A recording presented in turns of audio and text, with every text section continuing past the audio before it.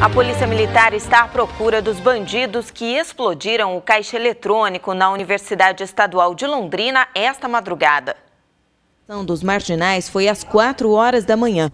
Segundo a PM, quatro homens em duas motos entraram no local, colocaram os explosivos e detonaram os caixas. A explosão arrebentou os equipamentos, as portas de vidro e até o teto.